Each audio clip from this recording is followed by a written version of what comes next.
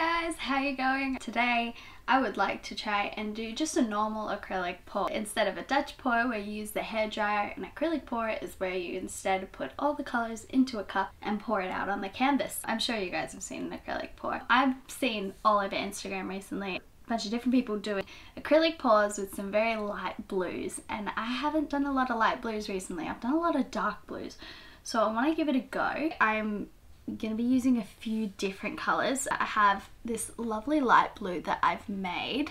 I made it using this paint from Holocraft that I got at Riot Art. The color is Coastal Turquoise, but I mixed it with this color that I got from a friend from Global Colors called Marina. I just want to lighten it slightly. The next color that I have is I wanted to do a bit of purple in it, but I want to make sure that the purple is not super powerful. The purple that I used to make this one, she's not too dark. For some reason it looks really dark on camera, but I promise it's not super dark, but it is quite pretty. I made it using this high flow paint that I got at Riot Art from Holocraft as well. It's called Ultraviolet. But honestly, I have another paint called Ultraviolet and it's brighter than this, but that's not what I'm going for today, so this works perfect. But I mixed it with this other paint that I have from a friend from Global Colors called just Purple. Very, very creative name. I've also got this gold because I want just a little bit of gold in there, but that's not the only metallic that we're going to be using. I would like to also use another one from Riot Art, the Holocraft High Flow Paints. This one is called Metallic Cyan which should be really cool. I'm really keen to use it. I haven't used any of the metallic ones that are high flow. And then of course just white, which I am using. This one that I got from Riot Art from Eraldo de Palo. I hope I pronounced that right. So today, different to Dutch pouring, with I prefer to use not just water but also Floetrol. Now Floetrol you can get at Bunnings for I think the 4 litre is about 50 Australian dollars for the one litre I think it's about $30 I'm not entirely sure so I just get the four litre when you're starting out alternatively I ended up using PVA glue that I found from somebody online I thought that was a really good idea it did make my paintings crack over time depending on the PVA glue I used but I also got all my stuff at $2 shops with $2 paints so yeah, they were great for like first starting out, but your paintings didn't age very well. So yeah, I found that the Floetrol works so much better and it creates a few cells in there without even using any silicone. When adding Floetrol, the amount of paint that I want in comparison to the Floetrol is I want it to be not necessarily a certain amount of paint, I want it to be a certain consistency. So I find for most paints, I end up adding same amount of Floetrol as paint. I don't want it to be as liquidy as I would for a Dutch pour, but definitely still quite runny. With this paint, I don't think I'm going to need heaps of Floetrol, so I'm adding maybe half the amount of Floetrol as there is paint in there. Alright, so here's the consistency now. I'd actually say it's what I want already. It's perfect. So I want it to be runny, not too thick, and make sure that there's no lumps in there because sometimes the paint does ball up a little bit. Right, so I mixed in a little bit of water. That's the consistency. That's exactly what I prefer. Um, other people prefer different, but that's what works best for me. Uh, I'm gonna add that to the rest of the colors now. So by the way, excuse my hair, she's a little bit bright. This is a lovely at-home hair dye job. My sister Haley was kind enough to do this for me, but uh, of course my hair is a little bit temperamental, so it took in some spots and not others. And I appreciate Haley dyeing my hair, of course, that was incredible, but it is a little bit, it's not really picking up on camera, but here my hair is like a traffic cone and then here it's a bit more faded and actually a bit patchy. So I have some hair dye in the mail and we're going to try and correct that. I might make that into a video, I'm not sure. For those who are wondering, yes, I, I am a natural blonde. It's kind of like an ashy blonde. I did have a brighter colored blonde as a kid. Uh, so when it grows out, it grows out into this kind of like grey, ashy colored blonde, I don't know. So I prefer to dye it ginger. You can't see it now, but today we are joined by Olive. She's my five month old kitten. She's gorgeous Uh, she's currently passed out because she's absolutely exhausted from running around like a nutter all day.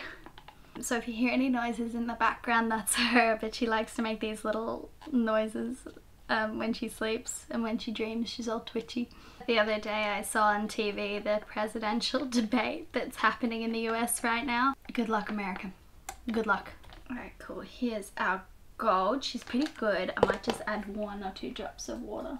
We have our teapot here from Dania. Thanks, Dania. Here is our paint. I'd say that's pretty good. This is one of my competition shirts. As much as they are cute, I end up just using them for painting. And I appreciate the shirts, I do. It's just I find they're not as flattering on me just because they tend to fit a guy's shape a little bit better, but on me they make me look a little boxy. It's killing me today. It's it's really warm. It's nice weather from where I am in Melbourne, but unfortunately it means that everybody's out. Nobody's social distancing except for like one or two people, and everybody's wearing their masks incorrectly. For those of you who don't know, in Melbourne we currently have a lockdown as well as mandatory masks, which I think is great, but half the people people don't wear their masks correctly so it kind of defeats the purpose and it kills me. And they're doing it on purpose. I'll watch some buggers i'll pull it up at the second that a police car goes past and then they'll pull it back down and it's like awesome. You're an idiot. My sister haley has made a sign uh, that she's painted and it says that if you wear your pants unzipped with your junk hanging out it's the same as wearing your nose out of the mask. And yes it does piss people off I'm pretty happy with that. That's all of our paints mixed up. What I'm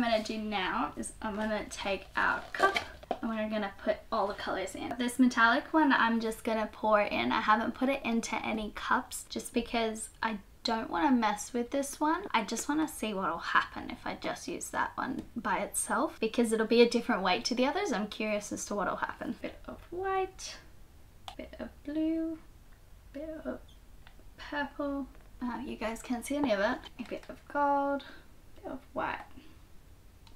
Here is our cup of paints. Now with this one, I think I want to do it so that instead of a, just doing a flip cup and a blob, I think I want to pour it on. Uh, I'm going to change you guys to top view so that you can see the picture and I'll be right back. Alright, so I'm going to pour our paint onto the canvas now. Gloves on, see how it goes. There's already some cells coming out in the paint think I'm gonna do it like that.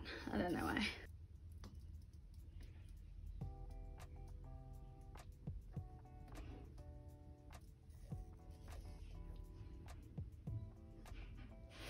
Cool.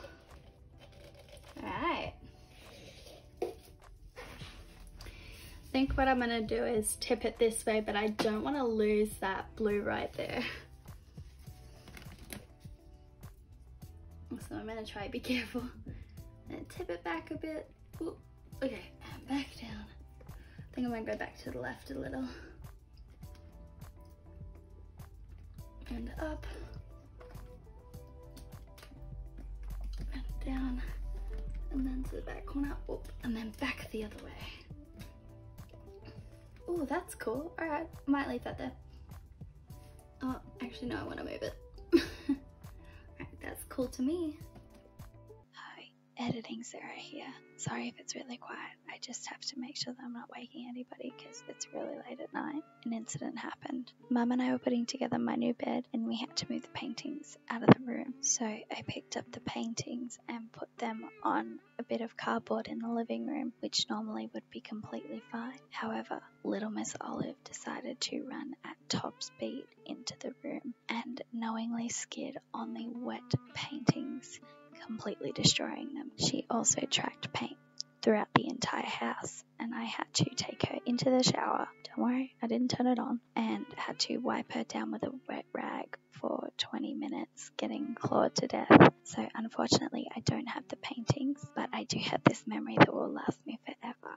Alright, so I'm not super mad with how that one went. It definitely ended up being a lot more purple than it did the light colours, and honestly, I can see barely any of the gold in it, but I do see a little bit of that cool metallic colour that I wanted, but it isn't standing out as much. I think next time if I do try it, I'm going to have to probably use a tiny bit more gold, perhaps a bit more of that metallic cyan color. But yeah, I'm actually quite happy with it. It's not popping as much as I would want it to, but I guess I'll see how it dries in the next few days and we'll kind of find out. Thank you guys so much for watching. If you liked it, leave a like. If you like me and want to see my face again, feel free to subscribe. Let me know down in the comments if there's any different kind of paintings that you want me to try and do or any different kind of colors you want to see me try and do. Let me know below. Thanks for watching guys. Till next time.